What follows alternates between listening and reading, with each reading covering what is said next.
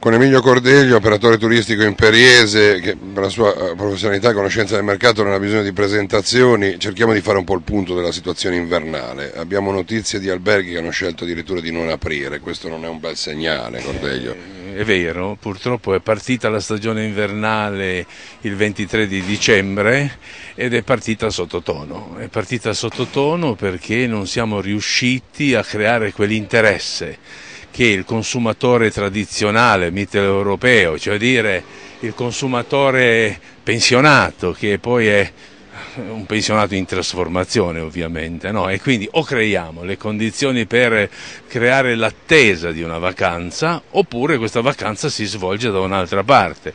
È pure vero che la crisi turistica e che la crisi economica in particolare ha un po' massacrato il turismo del sole, del mare, del, dei periodi invernali, perché mm, da noi la stagione era, a Sanremo la stagione era invernale, non era estiva, ancora Ancora oggi abbiamo la speranza di vedere negli alberghi della Riviera la presenza di un turista che non solo cerca il sole, ma cerca la cultura, cerca la gastronomia.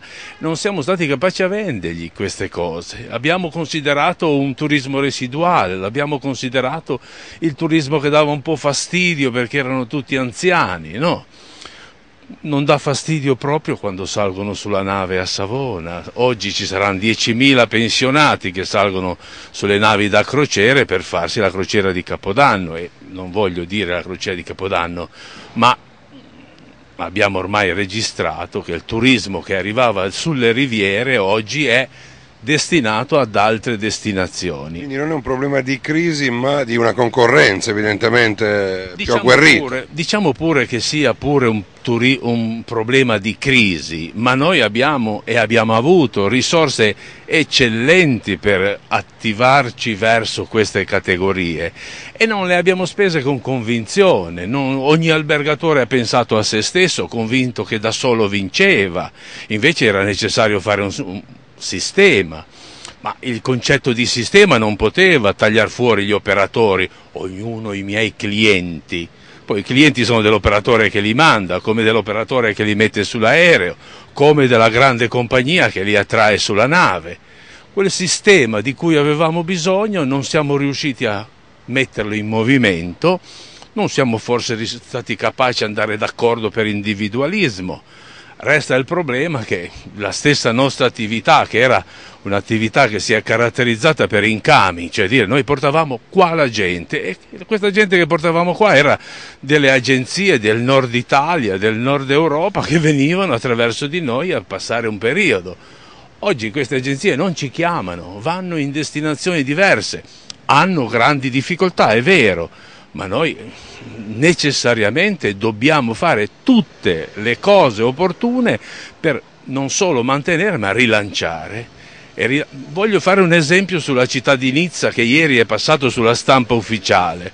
Hanno creato un momento magico per il fine anno con le luci, con eh, la l'addobbo delle strade, eh, con questi grandi clown che viaggiano a 7-8 metri di altezza sui trampoli, illuminati, e che questa sera parte con caratteristiche, diciamo, tipo festa, la festa delle luci di Lione.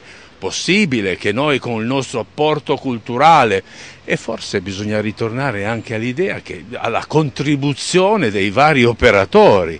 Voglio dire, noi non abbiamo mai sentito i commercianti battere eh, sul problema della ospitalità o realizzare le condizioni perché l'ospitalità fosse più allargata, più, più, più concreta.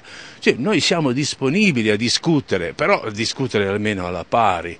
Non che ogni volta mi sento dire i miei clienti e magari sono quelli che gli ho mandato io con il gruppo.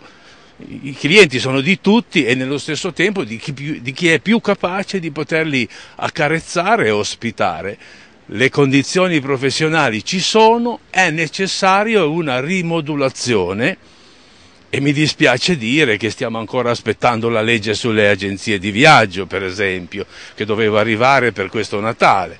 Insomma, il turismo è ora di, di smetterla, non può essere messo in seconda o terza fila. Il turismo è economia, è economia di qualità, e quindi le autorità devono, hanno l'obbligo di rilanciare con noi le capacità di attrattiva che non possiamo perdere.